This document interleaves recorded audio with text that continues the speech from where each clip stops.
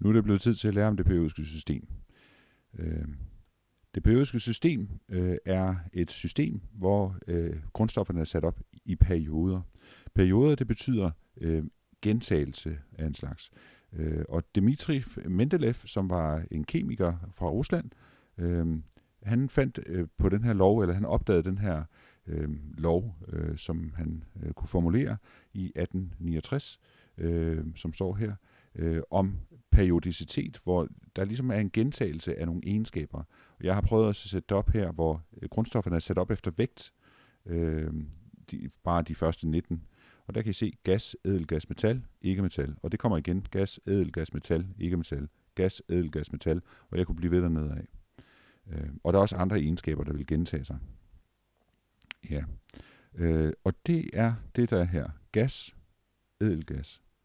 Metal, ikke metal.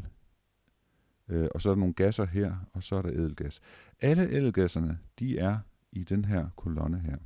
Perioderne, det er så dem, vi har vandret. Periode 1, periode 2, periode 3, periode 4, periode 5 og så videre. Det er derfor, det hedder periodisk system. Fordi det gentager sig i perioder, øh, de her ting her. Øhm, ja, hvor edelgassen ligesom er markøren for, hvornår der er en, øh, ny, en periode er slut, og det så begynder forfra med metaller.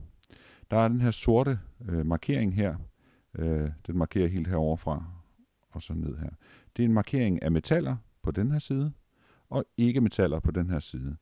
Der er nogle stoffer her lige omkring den, som er halvmetaller. Det, det er sådan lidt midt imellem. Men øh, her der er der nogle gasser for eksempel, øh, og nogle stoffer, som ikke er metal. Svovl, fosfor, øh, kul og så videre. Øh, ja. Det er det. Og øh, hydrogen er altså også en gas, selvom den gemmer sig herovre på venstre side.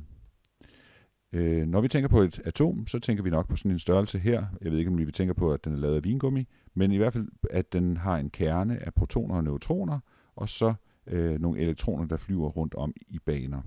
Og det er ikke kommet helt tilfældigt. Det øh, har udviklet sig, den opfattelse. John Dalton, der i øh, 1803 øh, øh, opdagede eller øh, lavede den her model af atomet som en billardkugle. Atom betyder udelelig, øh, og han mente altså, at alle atomer øh, var forskellige måske, men de var i hvert fald en udelelig størrelse, og derfor så som en billardkugle kunne man øh, tænke det. J.J. Thomson, der ændrede den opfattelse til rosinbollemodellen, fordi han i 1897 øh, opdagede elektronen, og derfor i 1904 så øh, øh, måtte han jo øh, så lave den her rosinbollemodel, hvor ligesom rosiner i en bolledej, så var der øh, elektroner inde i atomet, og så for at det blev neutralt udadtil, så måtte der også være noget positivt, som han for, så forestillede sig var dejen i rosinbollen øh, i hans illustration. Hantaro øh, Nagaoka, Nagaoka fra Japan havde den her Saturn-model, som han også lavede i 1904. Der var det hele taget rigtig mange teoretikere, der, eller kemikere og fysikere, der lavede modeller for det her.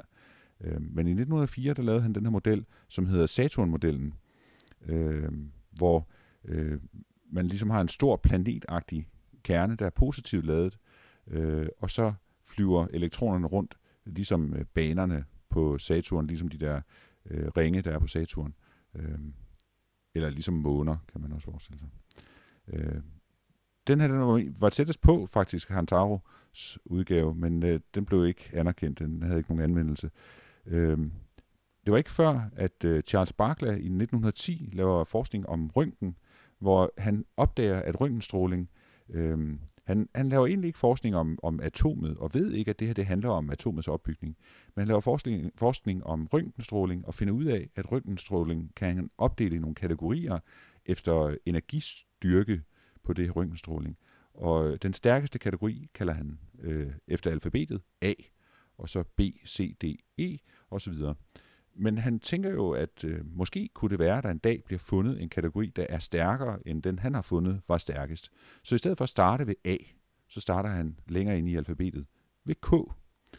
Øh, Niels Bohr finder senere ud af, at grunden til, at det der øh, Charles Barkley fandt ud af var stærkest, at det er stærkest, det er fordi, det handler om nogle elektroner, der springer herinde fra den inderste bane, eller til den inderste bane. Og derfor kommer banerne her til at hedde K, L, M, N, O, P, Q.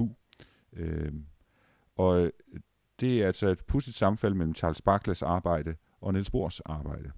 De hedder også bare periode 1, 2, 3, 4, 5. Ja. Øh, det her år, det går vi ikke mere ind i. Øhm, der er øh, en masse informationer i det periodiske system. For eksempel forkortelsen, det kemiske symbol, et, øh, for oxygen eller for ilt, der er det et O, øh, og det kemiske navn for ilt, det er oxygen. Det har nummer 8 i det periodiske system, øh, og det er altså også det antal protoner, der er i kernen. Øh, og øh, elektroner, de er fordelt i øh, K-skallen og L-skallen, øh, sådan så der er to i K-skallen og seks i L-skallen, eller to i første skal og seks i anden skal. Atommassen, den er rundt regnet 16 unit. Øh, henholdsvis protoner og neutroner vejer hver en unit, så i gennemsnit har oxygen altså øh, 8 neutroner og 8 protoner. Der er nogle enkelte, der måske har 7, og det er nok derfor, den når ned på 15,999. Ja, sådan er det. Nu har jeg forklaret perioderne. Det er også antal elektronskaller, K, L, M, N, O, P, Q, eller skal 1, 2, 3 osv. Øh, her i, i 8. hovedgruppe, som den også hedder, eller i ædelgaskolonnen, der har de 8 elektroner i yderste skal. Det er det højeste for yderste skal. Næst yderste skal kunne godt have mere. Det var det, jeg sprang over i den information, der stod her. Men hvis det er yderste skal, der bliver anvendt, så kan, er der kun plads til 8. Øh, lige for første hovedgruppe, eller for første periode, der er det lidt specielt, der er der kun plads til to i yderste skal. Men ellers, øh, og det er jo fordi, der i det hele taget kun er plads til 2, jævnført det der. Men, øh, men ellers er der plads til otte dernede af. Hvis man så har de andre hovedgrupper her, så gælder det hele vejen ned, at der er det antal elektroner i yderste skal, som svarer til hovedgruppens nummer. Så for eksempel i hovedgruppe 3, der er der tre elektroner i yderste skal. I hovedgruppe 1, der er der en elektron i yderste skal. Så er der øh, de her, der er inde i midten, øh, og øh, også de her nede, de hedder lantanider og aktanider, øh, men de hedder også undergrupper, øh, for at gøre det nemt. Og i undergrupperne, der er der typisk en eller to eller tre elektroner i yderste skal. Og det samme grundstof, hvis vi for eksempel tager jern, kan godt findes i en udgave, hvor der både er øh, to elektroner i yderste skal, og så en anden udgave, hvor der er tre elektroner i yderste skal. Øh, så det kan godt variere. Øh, de er altså lidt mere utilregnelige i forhold til det. Men hovedgrupperne, de er pålidelige. Det var det periodiske system.